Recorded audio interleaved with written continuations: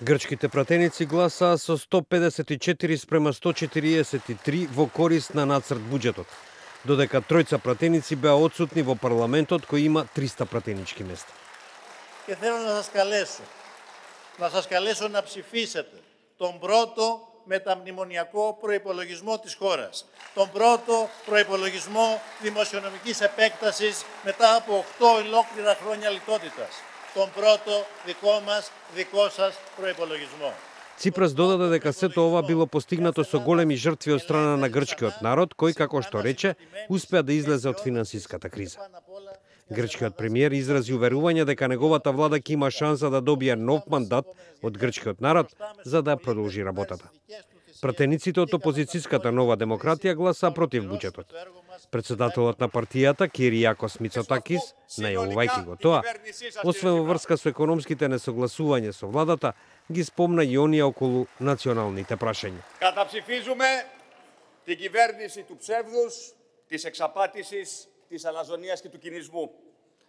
Καταψηφίζουμε την κυβέρνηση που έκανε χειρότερη τη ζωή των Ελλήνων και ειδικά των πιο αδύναμων.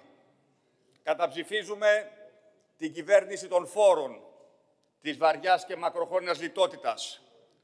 Καταψηφίζουμε την κυβέρνηση των απαράδεκτων εθνικών υποχωρήσεων. Додека траеше дебатата, членови на синдикатите одржаа протестен марш пред грчкиот парламент.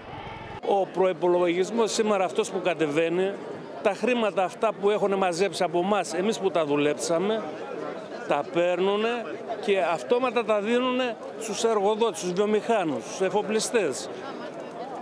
Αντί να αξιοποιήσουν αυτά τα χρήματα να πάνε για την υγεία, για την παιδεία, για τους συνταξιούχους αυτούς εμείς που πάση περιπτώσει μας έχουν κάνει τη σύνταξη σαν ένα κουρελόχαρτο. Να μην παίρνουμε τίποτε σχεδόν. Έχουμε διαπιστώσει ότι και για την παιδεία και για την υγεία τα κονδύλια τα οποία διατίθονται είναι πολύ κάτω από τις προσμονές τις οποίες είχαμε. Δηλαδή είναι τα ίδια και χειρότερα από ό,τι ήταν στα προηγούμενα μνημονιακά χρόνια. Буџетот за наредната година е натаму предвидува мерки за штедење, со цел да се обезбеди Грција да забележи суфицит во согласно со договорот за олеснување на долгот со меѓународните кредитори.